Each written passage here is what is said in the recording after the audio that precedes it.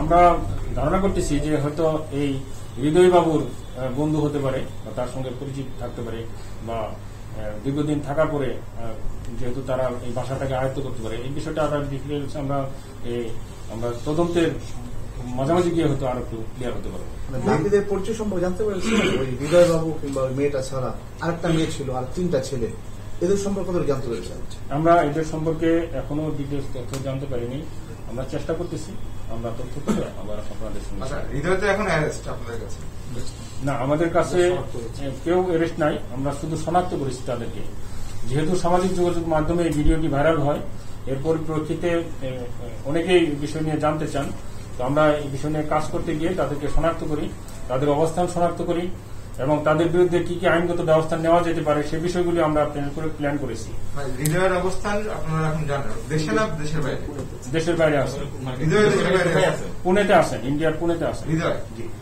ভাই এরা সবাই কি একসাথে দেশের বাইরে গিয়েছে নাকি আলাদা আলাদা মিলিত হয়েছে? এরা এরা আমরা যতটুকু প্রাথমিকভাবে জানতে পেরেছি তারা আলাদা আলাদা ভেবে দেশের বাইরে গেছে। ভাই আপনারা যদি কি মনে করছেন ওই ভিডিওতে দেখা গেছে তাকে প্রচুর পরিমাণে নির্যাতন করা হচ্ছে সুতরাং তাদের মধ্যে যেহেতু পূর্ব পরিচিত ছিল ইন্টারনাল কোনো ঝামেলা আছে কিনা ওই মেয়ের সাথে ওদের মানে?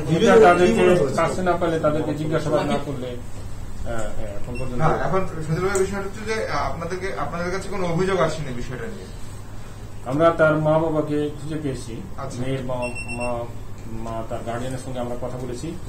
তো তাদের কথা অনুযায়ী তাদের অভিযোগ পেলে আমরা আইনগত ব্যবস্থা নিব এবং তারাও শনাক্ত করেছে যে এই মেয়েটি ভিডিওতে যে মেয়েটিকে দেখা যাচ্ছে এটা তারই মেয়ে। মানে মেয়ের সঙ্গে তার বাবা মা যোগাযোগ হয়েছে কিনা বা মেয়ে কোনো অভিযোগ করছে কিনা? না এখন পর্যন্ত তারা যোগাযোগ করতে পারেনি।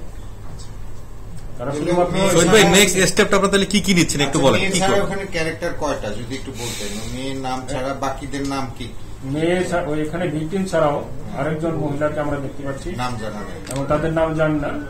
এবং ওখানে হৃদয় নামে যে ছেলেটা আমরা টিকটক বাবু হৃদয় বাবু সে আছে এবং আরও তিন দুইজন ছেলে আছে। মোট তিনজন ছেলেকে আমরা ভিডিওতে দেখতে পাচ্ছি এবং দুজন মেয়েকে আমরা ভিডিওতে দেখতে পাচ্ছি। একজন ভিকটিম আরেকজন নির্যাতনকারী ভূমিকায় একটা প্রশ্ন করি আপনারা আরও বেশি তথ্য উপাত্ত নিয়ে আরও অ্যাডভান্স হয়ে ব্রিফিংটা কেন করলেন এত মানে প্রিম্যাচিউর অবস্থায় কেন করছেন? মানে আপনারা তো উত্তর দিচ্ছেন তো হালকা হালকা, ঠিক আছে? মানে আরও তদন্ত সাপেক্ষে, আরও সময় নিয়ে একটা ম্যাচিউর্ড অবস্থায় গেলে কনক্রিট আপনারা একটা ব্রিফিং করতে পারতেন, ঠিক আছে? এখন একটু ধোয়াশা ধোয়াশা। না, ঠিক আছে, বিষয়টা যেহেতু সামাজিক যোগাযোগ মাধ্যমে এসেছে এবং ভাইরাল হয়েছে, তারা আমরা আরও ক্লিয়ারলি বলতে পারি যদি ভিকটিম এবং আমাদের যে অপরাধী, তারা যদি দেশে থাকতো। যেহেতু সামাজিক যোগাযোগ মাধ্যমে এটা ভাইরাল হয়েছে এবং আমাদের কাছে জানতে চাচ্ছে মানুষ জানতে চাচ্ছে এখানে অনেকে যোগাযোগ করতেছেন। আপনাদের সাংবাদিকদের পক্ষ থেকে অনেকে জানতে চাচ্ছেন। এই বিষয়টা নিয়ে আমরা আপনাদেরকে ব্রিফিং এর আয়োজন করেছি। আমরা এই বিষয়টা আরও ক্লিয়ার করতে পারতাম যদি আমাদের ভিকটিমটা আমাদের দেশে থাকতো আমাদের কাছে থাকতো। আমরা আরও ক্লিয়ার হতে পারব আমরা তাদেরকে ফিরিয়ে নিয়ে আসার পরে। এখন আপনারা কি কি ব্যবস্থা নিচ্ছেন? যে স্টেপগুলো কি নেবেন? আমরা মামলা নিব। মামলা নিলে মামলা নেওয়ার পরে তাদেরকে আইনগতভাবে আমরা তাদেরকে ফেরত নিয়ে আসব। আমাদের যে পন্থা আছে আমাদের যে যে উপায় আমরা ফেরত নিয়ে আসি বিদেশ থেকে সেভাবে আমরা তাদেরকে এই অপরাধীদেরকে আমরা ফেরত নিয়ে মামলাটা কি মামলা হবে? কি মামলা নেবেন আপনারা?